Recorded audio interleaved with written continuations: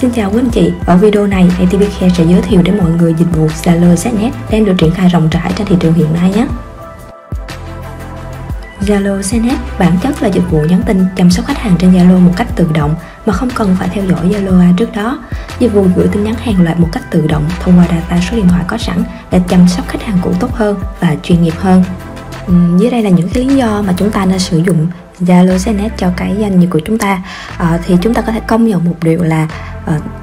tỷ lệ mà bấm xem những cái tin nhắn khi đổ về Zalo thì nó gần như là 100% và chúng ta đều có xu hướng là phản hồi lại những cái tin nhắn mà chúng ta đã nhận. Cái dạng tin nhắn ở dạng đầu tiên nhằm cung cấp dịch vụ gửi xác minh OTP qua Zalo với chi phí cực kỳ thấp và tốc độ gửi cực kỳ nhanh chóng. Dạng thứ hai là sách nét dạng văn bản, ở bao gồm những tin chăm sóc khách hàng cảm ơn sự đăng ký, nhắc lịch hẹn, nhắc lịch thanh toán. Dạng thứ ba là dạng bản, uh, ờ, gửi thông báo trạng thái đơn hàng sau khi giao dịch với khách hàng có giá tiền uh, thông tin khách hàng và mã tài khoản tích điểm như vậy thì tùy vào nhu cầu và mục đích của quý anh chị mà chúng ta có thể liên hệ bộ phận hỗ trợ của ATP Care để tạo một cái mẫu CSS theo ý muốn của mình